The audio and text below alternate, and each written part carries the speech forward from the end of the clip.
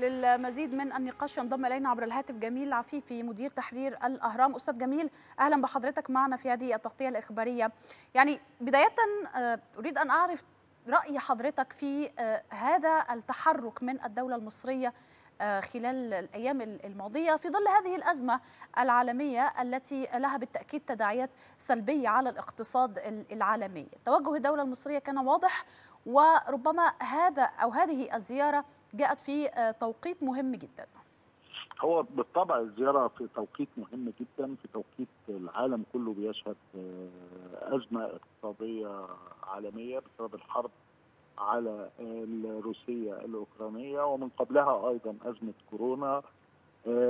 طبعا التوجهات المصرية خلال الفترة الماضية منذ بداية الأزمة حتى وقتنا هذا هي تحركات سريعة جدا تحركات حتى على المستوى العربي زي ما شفنا لقاءات الرئيس مع الشيخ محمد بن زايد ثم بعد ذلك اللقاء الرباعي بالأمس في العقبة.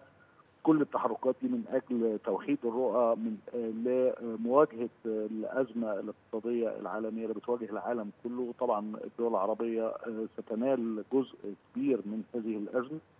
طبعا اللقاء النهارده كان لقاء مهم. زي ما قلت لحضرتك في توقيت أيضا مهم في علاقات بين مصر وبين الدول الأفريقية جميعا، مصر بتسعى إلى تنسيق الرؤى وتوحيد المفاهيم بين الدول الأفريقية. جميعا شفنا تطور العلاقات المصرية الأفريقية اعتبارا من عام 2014 حتى وقتنا هذا وصولا إلى ترأس مصر إلى الاتحاد الأفريقي. ومصر أصبحت هي الناقل والحقيقي للصورة الحقيقية داخل القارة الأفريقية وما تعاني منه القارة الأفريقية من أزمات. وشرحها الرئيس عبد الفتاح السيسي في خدمة جلاسكو للمناخ اللي عقدت في اسكتلندا في بريطانيا. طبعا ده كان واضح إن الدول الأفريقية هي أكثر الدول التي معاناة من وتضررا من أزمة المناخ. بالطبع مصر بتسعى إلى التنمية الشاملة داخل القارة الأفريقية بتسعى إلى الوصول إلى نبذ الصراعات ونبذ العنف ومقاومة الإرهاب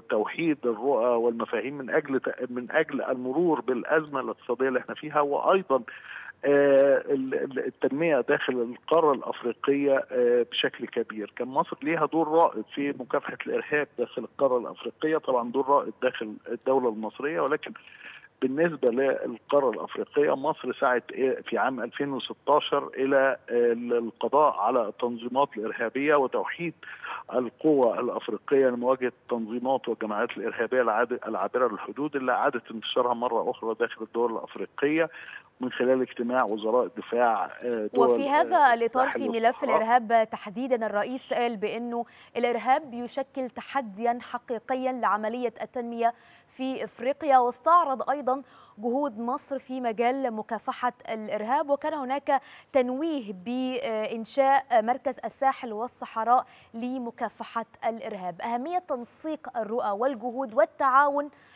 في هذا المجال مجال مكافحة الإرهاب. مجال مكافحة الإرهاب بدأ في عام 2016 عندما دعت مصر إلى اجتماع لوزراء دول الساحل والصحراء وزراء دفاع دول الساحل والصحراء في مدينة شرم الشيخ. لمواجهة العناصر والتنظيمات الإرهابية زي ما قلت لحضرتك العابرة للحدود اللي استوطنت في بعض الدول الأفريقية. وكان من ثمار هذا الاجتماع اللي هو تأهيل مصر قامت بتأهيل وتدريب أكثر من 2000 ضابط من دول الساحل والصحراء لمكافحة الإرهاب. إقامة تدريبات عسكرية مشتركة في قاعدة محمد نجيب لدول الساحل والصحراء لمواجهة الإرهاب ونهاية بإنشاء مركز مكافحة الإرهاب لدول الساحل والصحراء المقام في القاهرة وكل ده بيسعى إلى توحيد الرؤى وكيفية القضاء على التنظيمات الإرهابية العابرة للحدود للدول الأفريقية وكيفية مواجهتها لأن بالطبع إذا وجد إرهاب في أي دولة أو إذا وجد إرهاب في أي منطقة فسيؤثر بشكل كبير على التنمية داخل الدول دي وسيؤثر بشكل كبير على حالة الاستقرار وحالة السلم داخل الدول. فمصر ليها رؤية مصر تحركت بشكل سريع في هذا المجال وكان ليها دور سباق زي ما كان ليها دور أيضا سباق في القضاء على التنظيمات أو مكافحة الإرهاب داخل الدولة المصرية ودي تجربة رائدة على مستوى العالم كله حققت به الأمن والاستقرار داخل الدولة المصرية وحققت به الأمن والاستقرار أيضا لدول شمال المتوسط ومنطقة البحر المتوسط والبحر الأحمر أيضا. فنقلت بتسعى في الوقت الحالي إلى نقل هذه التجربة إلى الدول الأفريقية لمكافحة التنظيمات الارهابيه، إحنا عارفين إن في أفريقيا أو في بالأخص في دول الساحل والصحراء في عناصر إرهابية من القاعدة ومن تنظيم داعش ومن بوكو حرام وأيضا الشباب في الصومال في منطقة القرن الأفريقي. كل دي فتحت مجالات لوجود عناصر تنظيمات إرهابية جديدة تؤثر بشكل كبير أو إنها يكون لها معسكرات لإعادة نشرها مرة أخرى في أي منطقة أخرى من القارة الأفريقية أو من العالم كله فالقضاء عليها هو أساس لبداية التنمية داخل تلك الدول. أستاذ جميل بالحديث عن مجالات التعاون المشترك تحدثنا عن الاقتصاد وتحدثنا عن أهمية ودلالة توقيت هذه الزيارة، ماذا عن القضايا الإقليمية محل الاهتمام المشترك والقضايا التي تتقاسم فيها مصر ورواندا نفس الرؤى ووجهات النظر؟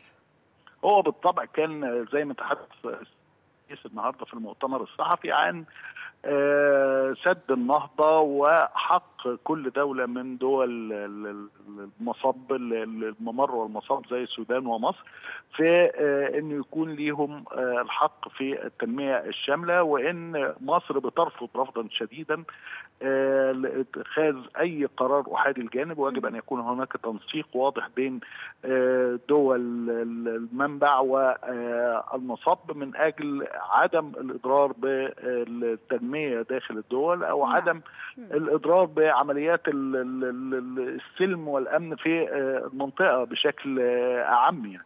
فتوحيد الرؤى وتوحيد يمكن المجتمع. يمكن كمان القضية اللي حضرتك كنت بتتكلم فيها مع خلود منذ قليل قضية الإرهاب وحفظ السلام وفي قضية أخرى مهمة هي قضية المناخ أيضا ويمكن الرئيس تحدث عنها في كلمته هو بالطبع أهم قضية في الوقت الحالي هي قضية المناخ وزي ما قلت لحضرتك في البداية إن الرئيس نقل الصورة الحقيقية لأفريقيا خلال قمة جلاسكو في المناخ للمناخ وقال إن القارة الأفريقية هي أكثر الدول الأكثر القارات تضررا من المناخ. وبيسعى الرئيس وبتسعى الدولة المصرية خلال القمة القادمة الاستقام في في منطقة في مدينة شرم الشيخ من أجل إيجاد حلول سريعة وإيجاد حلول عادلة بالنسبة للقارة الأفريقية في اتجاه مناخ وعدم تضرر الدول الأفريقية من من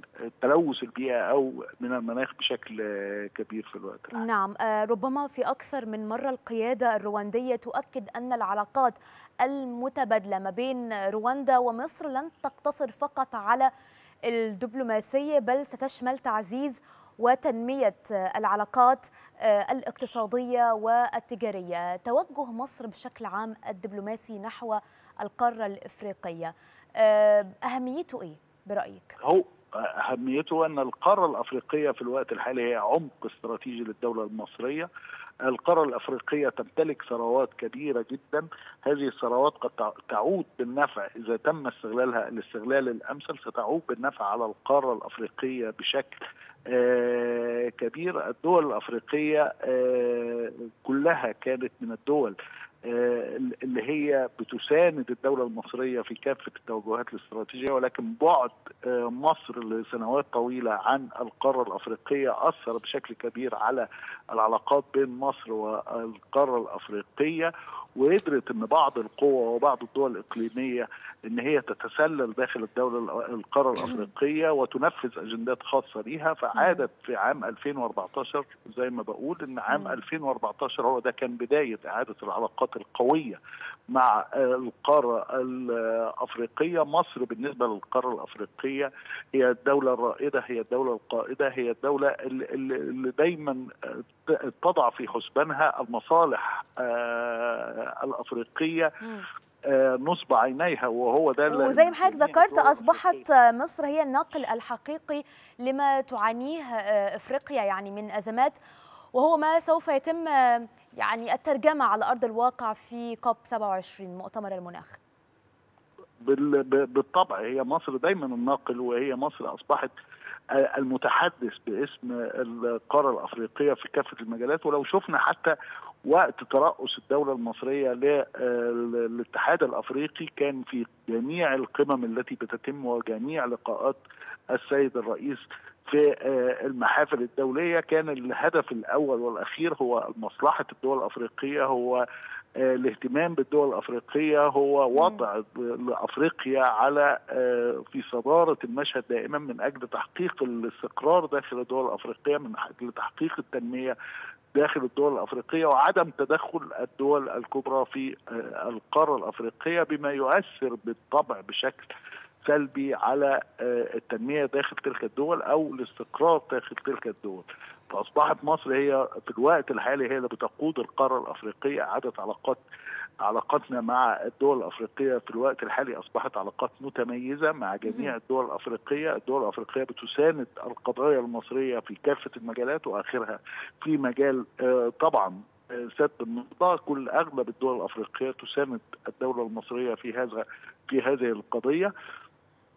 فبالطبع مصر أصبحت هي القائد والرائد في هذا المجال وأيضا هناك ارتياح من الدول الأفريقية كافه بعودة مصر إلى القارة الأفريقية بقوة نعم. منذ عام 2014 حتى طيب وقتنا. أخيرا أستاذ جميل ما يتعلق ب التعاون في قطاعات يمكن مرتبطة بفئة معينة وهي فئة الشباب.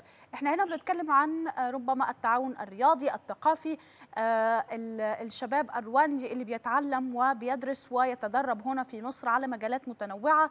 أيضا رواد الأعمال والشباب المصريين المستثمرين في الداخل الرواندي إلى أي درجة بتعزز هذه الزيارات عمل هؤلاء الشباب؟ هو طبعا بت بتنمي من العمل للشباب داخل مصر وداخل أيضا رواندا.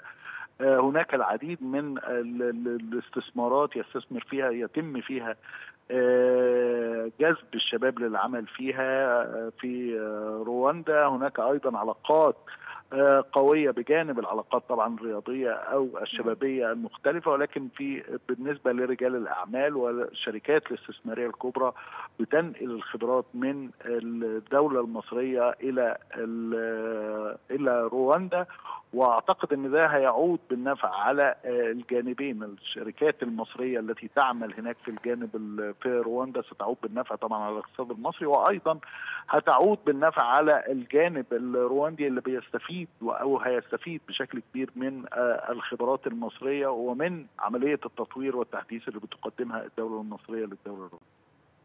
أشكرك جزيل الشكر الأستاذ جميل عفيفي مدير تحرير الأهرام على كل ما تفضلت به من حديث